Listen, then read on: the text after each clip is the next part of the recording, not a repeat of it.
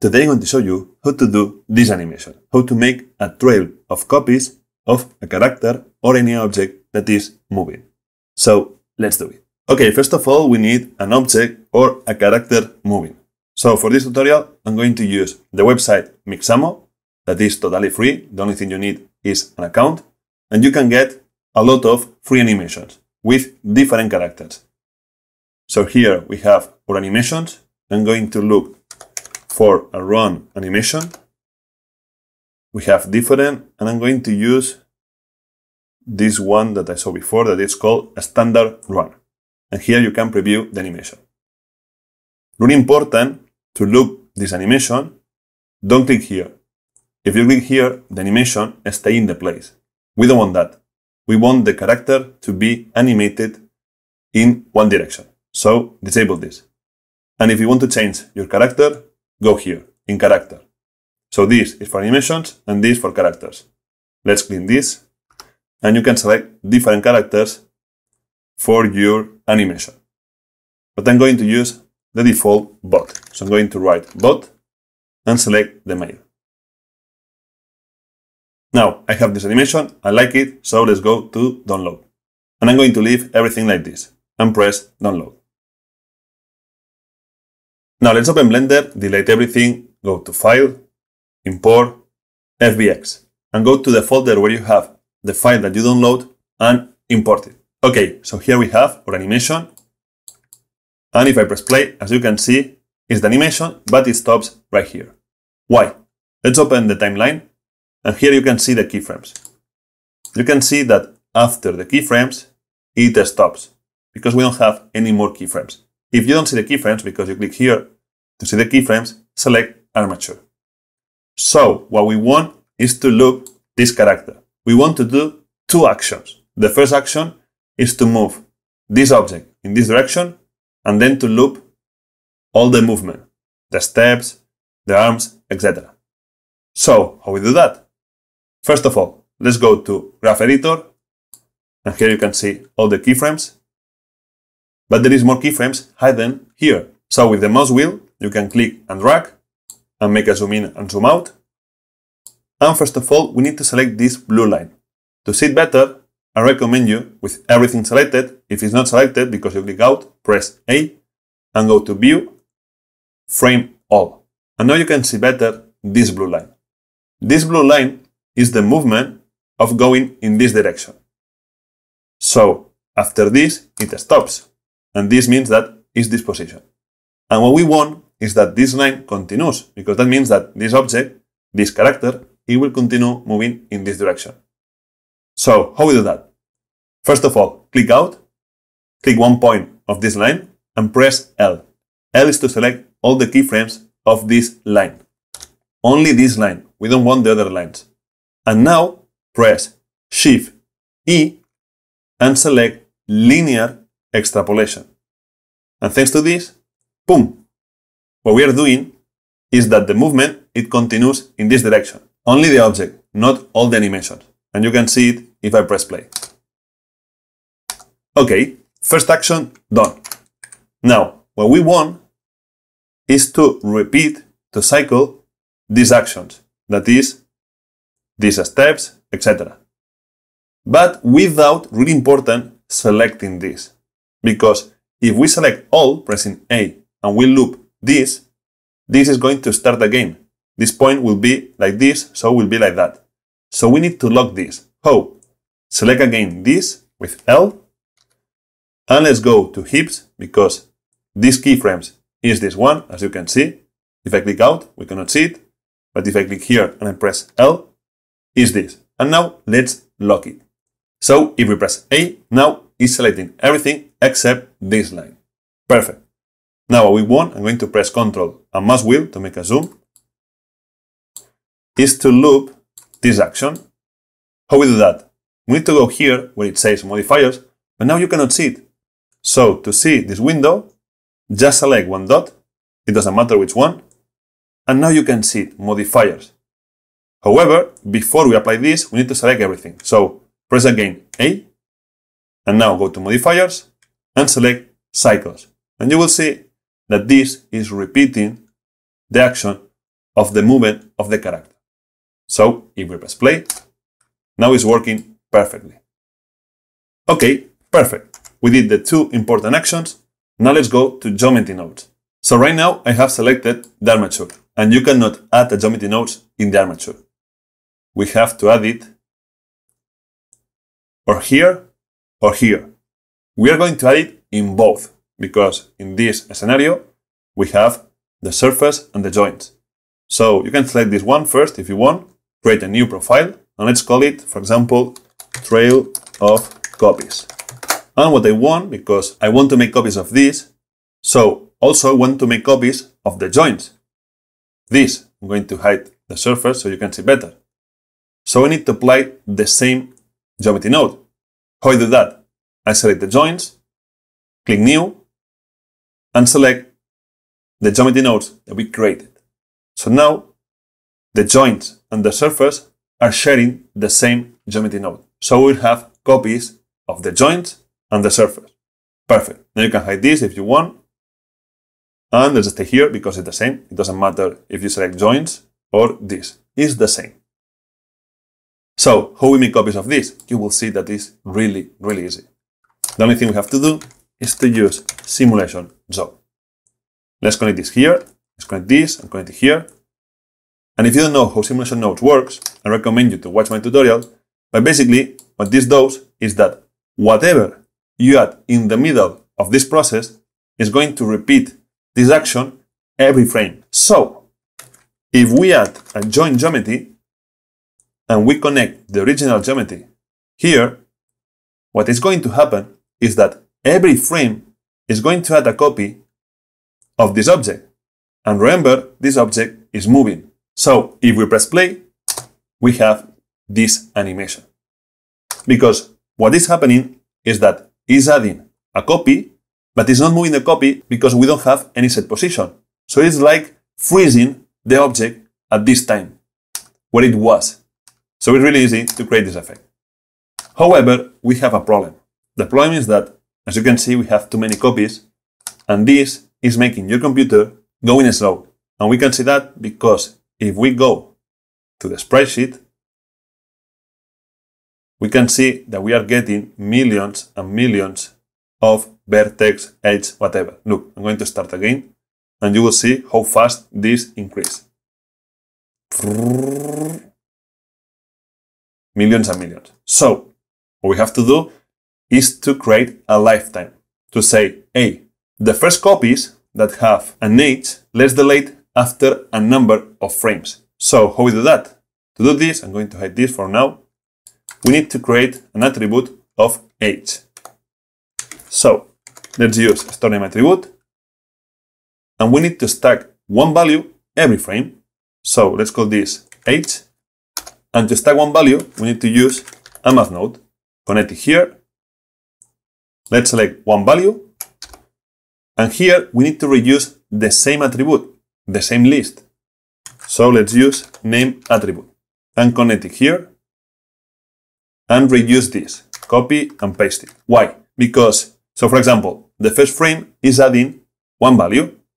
However, if you don't connect this, every age will be always 1, 1, 1. However, thanks to this, is checking the next frame, the previous age, so this was one value, and if this was one value, then it's adding one value more, so it will be two. And the next frame will be three, because it's checking, adding one, etc. Okay, we created a list, and you are thinking, what is the list? This list is hidden in, right now we have too many things, but is hidden in the final of this here, age. As you can see, if I select integer, we can see this. So, as you can see, all the geometries have an age. The first ones have a maximum age of 35 because we have 35 frames played. So we have a list of age. And now what we can do with this information, we can hide this if you want. Actually, I'm going to close it. Is to say, hey, whatever have an age of, for example, 20 delete it. That means that this one, that was the first one, will be delayed. So we will see the trail shorter. So let's call this age And let's add here delete geometry. And let's create a condition greater than, so delete all the geometry that is greater than the age. So let's reduce this. Let's make a copy. I'm going to press Alt P and connect it here.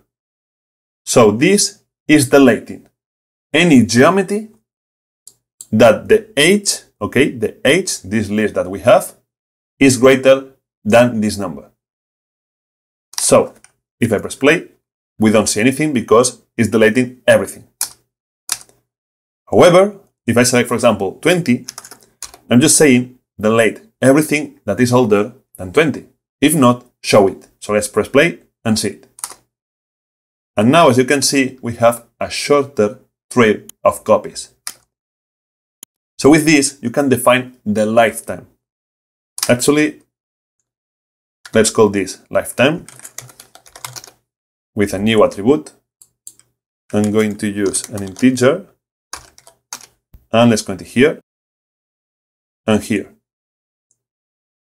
And let's call it lifetime because later maybe we are going to use it. So don't worry, it's the same. We are just creating an attribute for this because maybe in the shade editor we want to use this information. So this number is the number of copies, okay? Number of copies. For example, if I select 2, you can see better. 2 copies. If I select 5, we have 5 copies. Okay, perfect.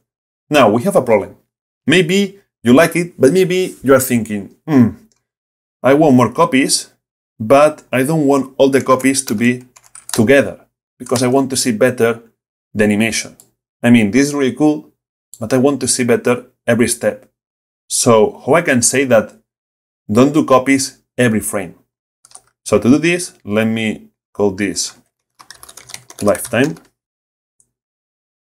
What we have to do is to go here and make like a filter when it's adding this geometry every frame and say, hey, don't add this geometry every frame. We have to create a condition, a filter here. So we can do this with a simple node called switch and select it in geometry because we are using geometry and we are going to create a condition. So when the condition is true, it's not going to add something. And if it's false, it's going to add this. So we're going to use a scene time and use the frames information with a simple math node and select, very important, modulo. Basically, this, let's connect it here. To understand how this works, is that if you add a value here, for example, 5, what we are saying right now is add a copy every 5 frames. That's all. So let's check it. Let's start again let's check it. So now every 5 frames is adding a copy. So this is how you do to create more space between the copies. If you want more space, select a higher number and now you can see better. We have a problem now, that the first frame we don't see the copy, because this is starting in the number that you're selecting. So it's taking 10 frames to add the first copy. So if we want to see the first copy in the first frame, then we need to connect this here. So I'm going to make a copy and connect it here. Right now we can see the first, the original object from the first frame. And this is how you decide how many space do you want and how many copies. Now is not the number of copies, it's the number of copies, but we are deleting the copies in the middle.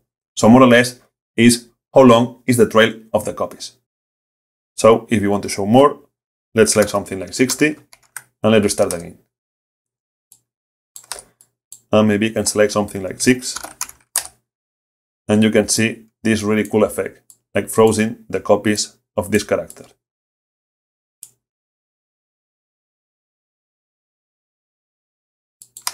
Okay, now I want to show you a final trick how to change the color based in the lifetime. So let's add here, set material, select the default material, let's go to the material view. Let's open a new tab, select the shade editor, let's press N to hide this, and select this default material. So let's select material. First of all, let's check if this works. Okay, perfect. So what I want now is to make the last copies more invisible or have a different color. So we can use the information of the age and the lifetime. That's why I created this store name attribute. So to do this, let's bring the node attribute because we want to use this information. So let's here 8. and what I want is to use a color ramp and define a range of colors. For example, uh, let's do, I don't know, blue and black. Okay, so right now it's working, but it's not working because we need to compare this or divide it by the lifetime. So let's make a copy of this and select the lifetime. I'm going to copy this and paste it here. And we need to divide this. Or actually, oops, you can use MapRange if you want. It is the same. So let's connect this here because this is the maximum lifetime. And as you can see, what is happening right now is taking the age and the lifetime and we are mapping these colors. So the first ones are this color and the last ones this color. If I move this, you can see that I'm changing the color of the copies. Also what you can do if you want is to add more colors, of course. So as you can see, you can create really cool effects. However, I want to make it, for example, invisible the last ones. So I'm going to select black, one color and black. And if we, let me see the black, if we connect the black in alpha, what we are saying is that the last copies be more and more invisible. By the way, I'm going to press N and select in Options, Render Method, Blended. And now we should see the last copies like disappearing. So this is how you can create this really cool effect where the copies appear like that. If you want to see the original runner, not only in the first frame, continuously, then what you have to do is to connect this here with a join geometry. Let's connect it here. And in theory, it should work as you can see right now. And this is the final effect. I recommend you to try different shaders and different techniques to have the look that you want. And if you like this video, give a like, subscribe, and remember, you can download this project and many more on my Patreon. And see you in the next video.